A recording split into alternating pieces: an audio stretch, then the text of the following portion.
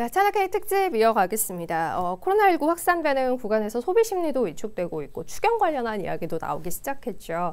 아, 다만 시장은 뭐 아주 강하게 치고 가지는 못해도 아래로도 크게 밀리는 모습은 아니에요. 최근의 흐름 어떻게 봐야 할지 관련한 이야기들 오늘 나눠보도록 하겠습니다. 오늘 한양대학교 이정우 교수님 모셨어요. 안녕하세요. 네, 안녕하십니까? 네, 안녕하세요. 네. 자, 일단 코로나19가 어, 좀 확산이 주춤하나 이대로 마무리되나 싶은 게 지난주까지의 흐름이었는데 이번 주 들어서는 또 분위기가 확 바뀌고 있어요. 물론 국외에서는 좀 다른 모습입니다만 음, 국내에서 특히 분위기가 조금 더 심각해지고 있죠. 특히 어제 오늘 확진자 수가 확 늘어났습니다. 82명까지 확진자가 늘어났다고 하고 그렇다 보니 아무래도 위축이 될 수밖에 없어요. 치사율은 낮다 이런 이야기를 하더라도 아무래도 밖에 나가는 거 주저하게 되고 음, 그렇다 보니 성장률에도 영향을 좀 크게 미치지 않을까 걱정이 됩니다. 어, 무디스에서는 우리나라 성장률 전망을 2% 아래로 낮춰서 제시를 했고 S&P도 1.6%까지 많이 낮췄더라고요. 이거 어떻게 봐야 하는지 실질적으로 좀 음, 걱정을 많이 해야 하는 구간인 건지 교수님 어떻게 보고 계세요? 네, 일단 좀 냉정할 필요가 있는 것 같습니다. 네. 아, 무디스나 S&P가 지금 전망한 거는 1, 4분기 경제 전망입니다.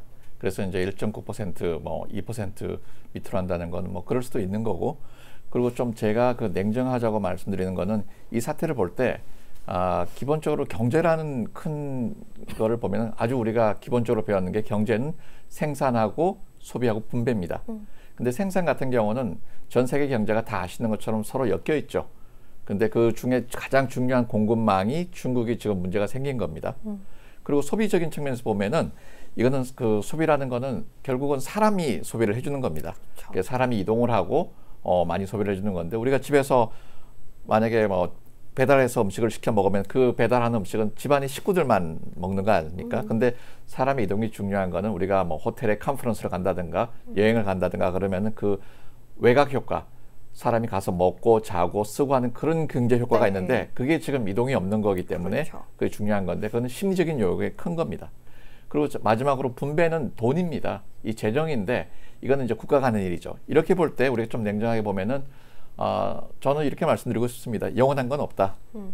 그래서 음. 지금 이렇게 우리가 굉장히 그 패닉에 잡혀 있고 그렇지만은 이 사태가 언제 끝날 거냐에 대해서 여러 가지 문제가 또 많이 있습니다만은 결국 의학적으로 볼 때이 어, 코로나 바이러스는 열에 굉장히 약하다고 그럽니다. 음. 그래서 한 여름 정도 되면은 좀 좋아지지 않겠나 하는 예상이 있기 음. 때문에 지금은 그런 예상을 가지고 좀 냉정하게 보는 게 필요한데 어, 전체적으로 볼 때 아까 제가 말씀드리는 그 생산 소비 분배 이런 거 볼 때 가장 중요한 게 우리가 지금 생산 부분에서 중국이 뭐 여러 가지 이제 생, 전 세계 생산 공장이니까 거기서 네. 문제가 생겨서 어렵다 이렇게 말을 하고 있지만은 실제로 볼 때 이제 그 이런 문제들이 현실화돼 가지고 1, 4분기에 굉장히 나빠진 건 맞습니다만은 이거는 아무래도 이제 한 여름 정도 되면 좀 좋아지지 않을까 그런 기간으로 보고 있습니다. 근데 이제 현실적으로 보면은 생산 공급망이 이제 좀 안 좋아지면서 그렇죠. 네. 어, 무디즈라든가 S&P가 1, 4분기 음. 강조드리고 싶은 거는 1, 4분기에 한국 경제 성장 예상치를 음. 낮췄다는 거. 그러니까 이제 2, 4분기, 3, 4분기는 아직도 모르는 거고 좀 좋아질 수 있는 겁니다. 그리고 이제 그 사람 문제는 우리나라가 그 관광객이 중국이 제일 많지 않습니까? 근데 지금 중국으로 제주도에서 중국 가는 비행기라든가 모든 게 다 지금 차단돼 있고 네. 우리도 뭐 인천공항에서 갈 수는 있지만 거의 안 가는 상태이기 때문에 오는 것도 차단돼 있고 음. 그래서 사람의 이동이라는 게 단순하게 관광객 하나가 오는 게 아니라 여러 가지 사이드 효과가 있는데 이 부분이 한 35%가 지금 줄어들었기 네. 때문에 에, 큰 문제가 있는 것 같습니다.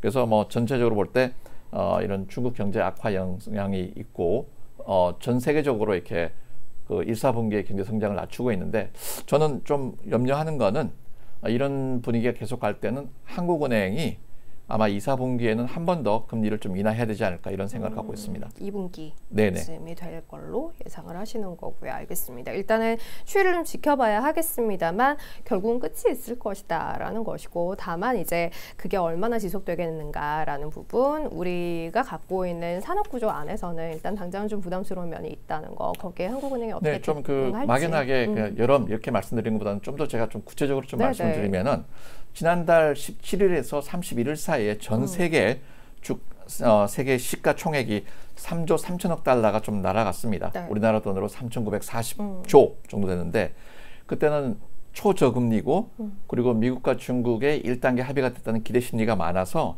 주가가 고가로 갔는데 그렇죠. 이번에 코로나 바이러스 내에서 사람들의 심리 문제가 아 주가가 고가가 아니냐 고점이 아니냐 이렇게 해서 이제 현금화를 하는 이동이 음. 자연스럽게 많이 일어난 겁니다. 또 다른 면에서 보면은 그 버핏 지수란 게 있는데 워렌 버핏이 만든 지수인데 전 세계 그 주가 총액 그 주가 총액을 그 나라의 GDP 명목 GDP로 나눈 네, 겁니다. 네. 그렇게 볼 때 이제 100 이상이면 버블이다 이렇게 음. 보는데 최근까지 미국은 이 버핏 지수가 한 160 정도 네. 그리고 일본은 110. 음. 근데 하나 뭐 이게 희망적이라 그러면 좀 제가 그렇습니다만 한국은 아직도 좀 디스카운트가 같은데요. 돼서 네.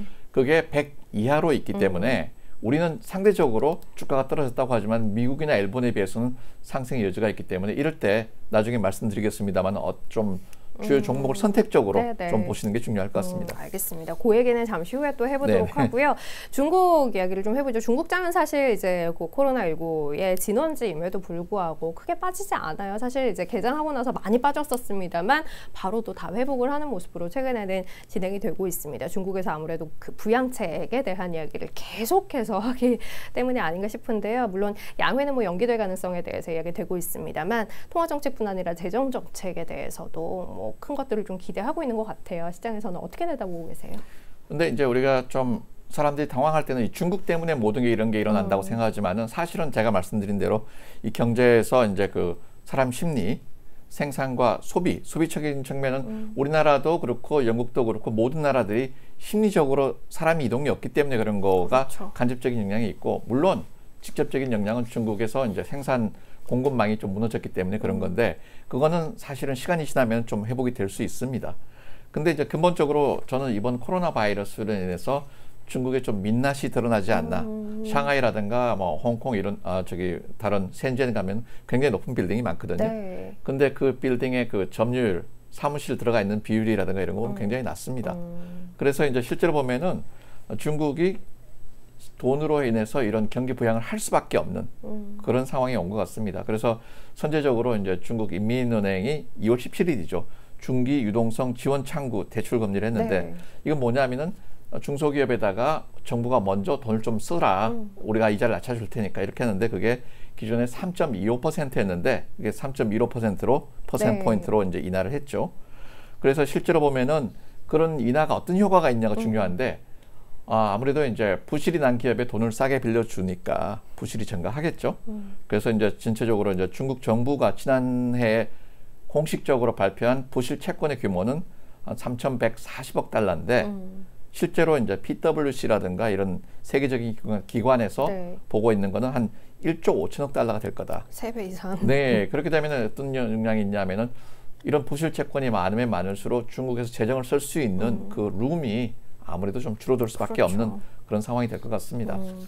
중국의 재정 적자 비율이 높다는 것도 사실 이제 그 얼마나 더 뭔가를 할 수 있겠는가라는 부분에 대해서 의구심을 갖게 하는 겁니다. 어, 재정 적자 비율이 올해 이제 안전선이라고 흔히 이야기하는 3%를 넘을 수 있다는 관측도 있고요. 그래서 중국이 부양책을 어디까지 내놓을 수 있을지 그리고 어, 계속되는 부양책이 나중에 결국은 뭔가 어, 좋지 않은 결과로 이어질 수 있지 않을까라는 걱정 이런 부분도 있는데. 근데, 근데 이렇게 보시면 될 것 같습니다. 이3% 란 근거가 뭔지는 잘 모르겠습니다만 제가 가지고 있는 근거는 지난해 중국 정부의 재정 적자 목표는 2.8%였습니다. 네, 네.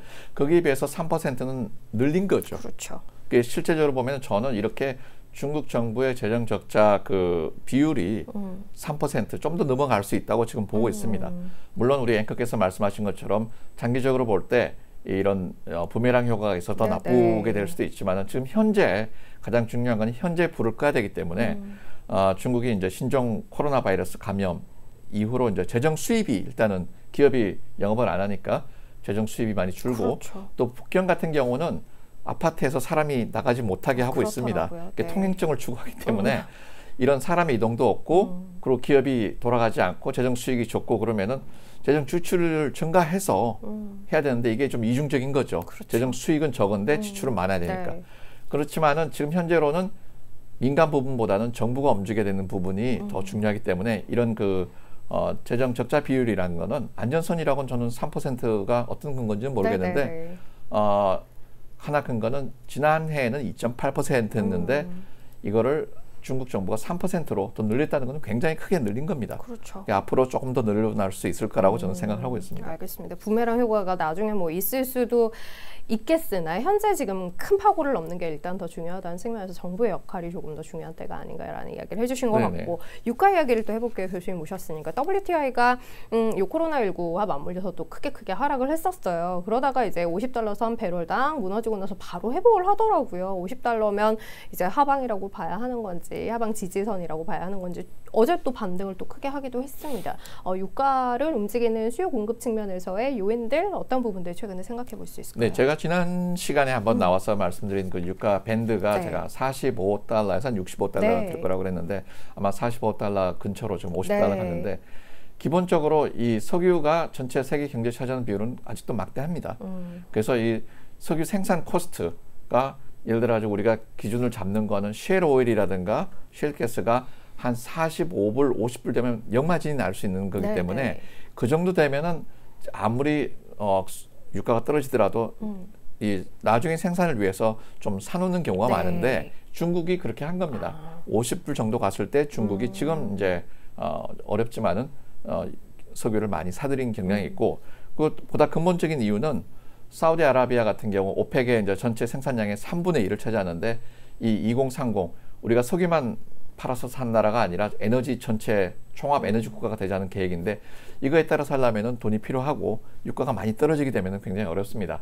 그래서 유가가 50불 정도로 가면은 이 석유를 팔아서 사는 베네수엘라 또 어, 러시아 이런 또 사우디 이런 데들이 아마 생산을 좀 줄여서 유가를 받쳐줄 수밖에 없는 그런 상황이기 때문에 저는 이 50달러가 심리선이다 하고 말씀드리는 수 없지만은 50달러 미만으로 가는 거는 좀 어렵지 않나 뭐 이렇게 생각을 하고 있습니다. 음, 알겠습니다. 역시 지난번에 이야기하셨던 45에서 65달러 사이의 밴드는 유지를 할 걸로 예상을 하고 계시는 거고요. 시장 이야기를 좀 해보죠. 앞서도 이제 뭐 종목 이야기 잠깐 하셨습니다만 시장 양극화가 굉장히 도드라집니다. 우리뿐 아니라 미국 시장도 마찬가지고요. 이제 그 시가총액 높은 것들 위주로 계속해서 잘 가는 흐름이 유지가 되고 있어요. 우리 시장도 마찬가지 모습인 데요. 음, 키 맞추기를 생각해야 할지 아니면 가는 것들 중심으로 봐야 할지 이 자산 배분에 대해서 의견을 좀 주실까요? 네, 자산 배분은 크게 보면은 이제 국내와 해외를 볼 때 저는 작년 2019년 초에 코스피 지수하고 네. 2019년 말의 코스피 지수는 크게 변동이 없습니다. 음, 그렇게 볼 때 국내 주식이냐 해외 주식이냐 볼 때는 이제 국내 주식보다는 해외 주식 쪽에 좀 포트폴리오를 늘리는 게 좋겠다고 생각하고 네. 국내 주식 쪽에서 생각을 하신다면 아까 말씀드린 대로 이제 버페 지수 이런 걸 볼 때는 다른 미국이라든가 일본 같은 경우는 버블 지역에 들어 있지만 한국은 아직도 굉장히 좀 저평가되어 있는 지역입니다. 근데 네. 저평가라고 해서 모든 주식을 사면 안 되기 때문에 그러면 이런 선진국 해외에서 각광을 받을 수 있는 쪽에 기여를 하는 주식이 어떤 것이냐 음. 이런 쪽을 보는데 아무래도 이제 그 4차 산업혁명 쪽에 관련된 주식 네. 그리고 AI라든가 아, 이런 쪽에를 좀 보시고 어, 하는 게 좋을 것 같습니다. 그리고 하나 좀 주의할 거는 이게 해외에서 주식이 좀 떨어지는 거를 그냥 단순하게 볼 게 아니라 네. 심리로 볼 때 수요와 공급에서 볼 때 이게 너무 버블 지역에 있느냐 아무리 미국 주식에도 영원히 갈 수는 없으니까 좀 조정을 합니다.